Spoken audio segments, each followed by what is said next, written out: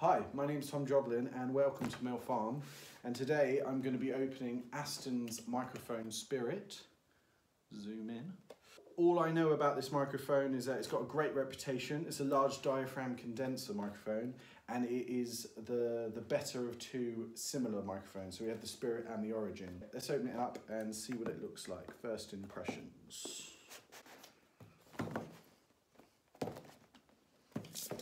Got the knife. There we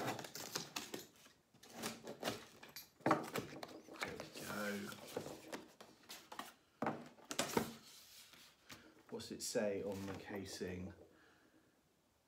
Oh, it talks about its mesh head. Apparently, this is one of the um, one of the selling points of the, the Aston microphones is how durable they are. I guess the SM57 and 58 have the same.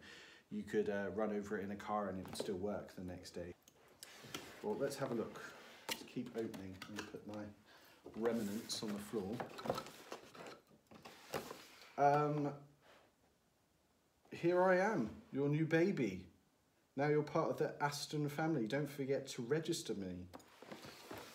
Cool little touch, I guess. Makes you feel like you're buying something special. Free sticker. Free sticker. Oh, got a pin badge as well. Look at this. But here it is. Um, as you know, when you buy a lot of microphones, they come in their own protective casings. I guess this microphone claims to be its own protective casing because it is so durable. Um, I'm a big SE fan, um, and I know every time I buy those microphones, they usually come with some sort of metal case. That is the that this is the only thing left in there though, so it's a nice, I guess, uh, nature-friendly packaging. All cardboard. Those to the side as well. Okay, first impressions it's got a really good weight to it. It doesn't feel cheap. It feels like a really good piece of solid, it's, it's almost like a Damascus style steel. I don't know if you can see that in the shot. You see that? It's got like a, on the back, the art of audio written on it. That's really cool. It feels really well built and it's really impressive. It's, it's shiny You could almost wear it around your neck. That's great. So we have a minus 10 dB and a minus 20 dB switch there, which as you know, if you can change the audio at the source, it will always sound better. And we have a high pass there. I wonder if it, having a high pass on a microphone always helps, makes a massive difference. There's no, um, there's no uh, clip for it. There's no like um, brace for it, but the uh, microphone stand screws straight into the microphone.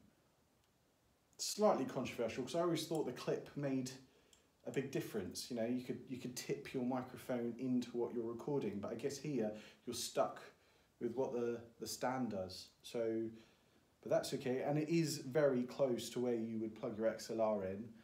Um, I guess, you know, in the next video, we're going to review the audio of this and how it sounds. We might even see what it's like chucked onto a mic stand because I have a feeling that those two things might get in the way, especially for your nice, chunky, good quality XLR cables.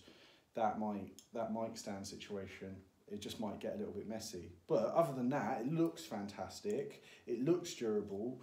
I love all the little touches on the box. I love the writing on the back, the art of audio. Where can you see that? There it is.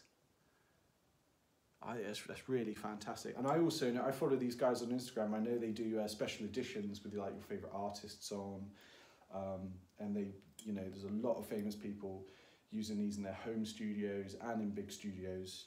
Um, and, and to be honest, and for the price, I, I yeah, you, you really, there's very few microphones in this price range. I think it's cost about £280 um, that are going to even you know just feel as good as this in your hands. Yeah, the switch feels good as well. It feels solid. It doesn't feel cheap and plastic like it's going to give out. I think what makes this microphone different is that it's UK built. It looks fantastic and it's built really well. Um, I, I actually like the fact that it doesn't come in a big bulky case. You could just chuck that into a box with a load of 57s and I really don't think it's going to get damaged.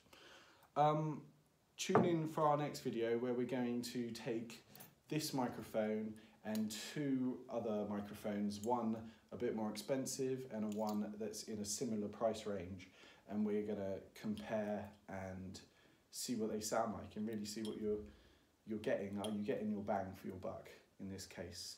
Um, yeah, tune in next time. See you later.